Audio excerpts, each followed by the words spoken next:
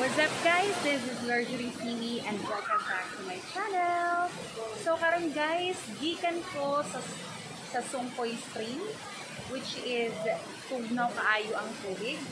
Og next is ako ang giadtuan ang hot spring which is dito ta sa Mapaso Wellness Spring Resort.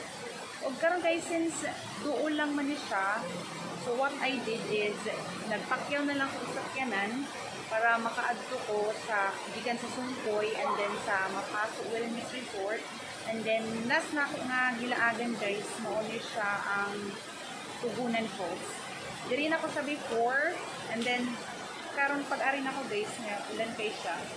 So, okay lang po siya kay di siya init mag take mag picture. Picture and then anak kalimbot ani diri sa guys kay naagi siya falls nga ang falls kay mo.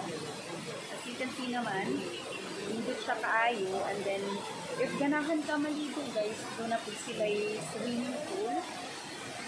And then later guys i-ask na ko yung oh, how much ang ilahang prices for the cottages guys. And nagbayad lang po for the entrance of 50 pesos. So in order na makaabot ko diri nga lugar so we can po og Songpo and sorry we can po og mapaso ulit resort and then so ninaog ko dito sa um dito sa barangay barangay ako ah di barangay pa sa guys and then ninaog ko dito sa mainit. And then dito sa mainit so masakay na po ka sa mainit Sigaw del Norte so masakay ka pa doon diri ah nagpakyaw ko og 100 pesos para makaabot sa lugar and then back and forth guys so it's 200 pesos para lang gid maabot na dito sa lugar guys so para makita niyo para magkaroon mo idea if ganahan mo mag-banding with your family or your friends or hindi maka kung hindi mo lang kaugalingan so mga na siya guys. So napakita na sa inyo ha? Ang um, siya? Tugunan po so mga liga na ta guys. So kuyugan kuyugi ko ninyo. So just keep on watching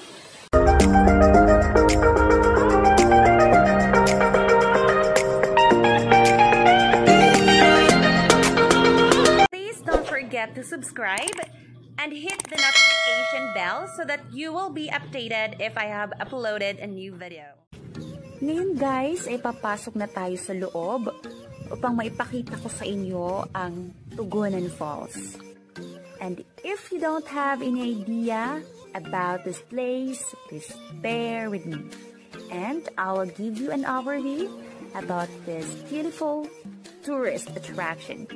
Okay, let's start. Tugunan Falls is situated at Barangay Mainit, Surigao del Norte. In order for you to reach this falls, you must climb down for 330 steps stairway. Are you? While you're climbing down, you will be passing a bird and a monkey on a cage. And also, you will hear a water falling like a thunder. The waterfall of Tugonan Falls is one of Mainit's crown jewel. It has a 90 feet waterfall and it's ideal for thrill and adventure lovers. If you love nature, You'd probably like this amazing tourist attraction. This ultimate destination in the town of Mainit is a no pain, no gain adventure because you will be climbing down to reach the Tugonan Falls. Then, if you're on your way back to your home, then you need to climb up for 313 steps stairway. The location of the waterfall is 6 kilometers from the main road, so it's a quiet adventure. And for the amenities, they have a table with umbrella, and the price is within the range of 150 to 250 pesos. And they also have a large cottage and the price of that is within the range of 500 to 1,000 pesos. Alright guys, so I have provided you the information, so just keep on watching.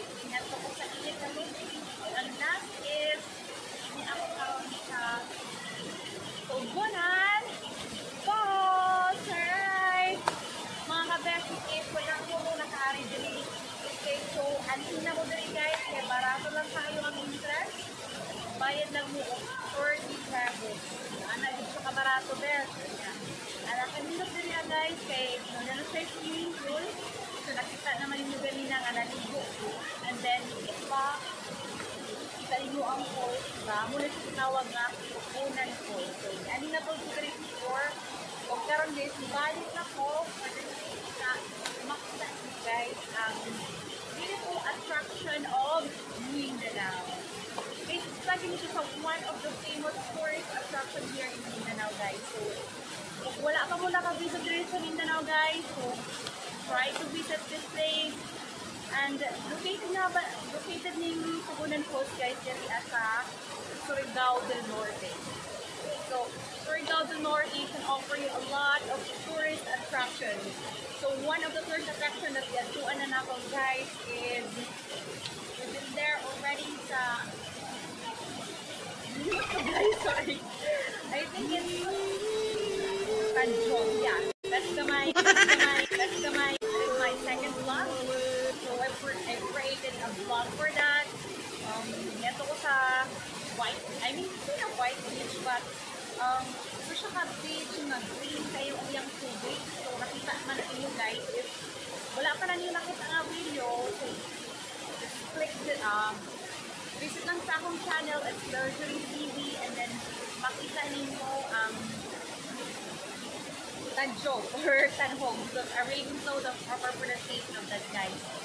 And then, so isa na sa mga beautiful attraction din niya sa Mindanao, sa Surigao del Norte, ang Tanjong Beach which is located in Taganaan. And then, next na get one ako guys na lugar is sama kong lugar, ah, uy, nalimot ko guys. Sorry ha, mental block this ko. Hindi ko kasi kita tagalaan ba niya. Nalimot ako sa mga lugar nga may atuan guys. So, nag-isip ko video. And then pang third video na ko siya, pang third vlog na ko, if it's, ito to siya ka swimming pool. Alright, so I remember na guys. it's Mountain View Water Spring Resort. Okay? So katong video guys, nakita inyo nga. Lindot man siya overall ang place niya, but ang ako lang dito ano guys, medyo pricey siya. When it comes sa, ano sa, sa um, carriages because uh, within the range of 400, yeah, ang umbrella guys, 400 pesos, and the 400 is only more than that. Then which is very expensive siya guys, and then pag ano po ka, naapod siya yung price nga 600 pesos, and 600 pesos guys only 9 person can accommodation. Later mag-ask ko kung guys, ang ilang sa atin is umbrella, then mangutan ako if how much na siya. So, mo lang po siya guys, bakit na ko sa iyo ha, ang Guanan Falls, and then located din siya sa Barangay Taco. Perfect, uh, if you like um, selfie-selfie, ganahan ka nga, ito na kay background na ano, falls. So, mo na din siya guys. Alright guys, so I hope na nag-enjoy mo.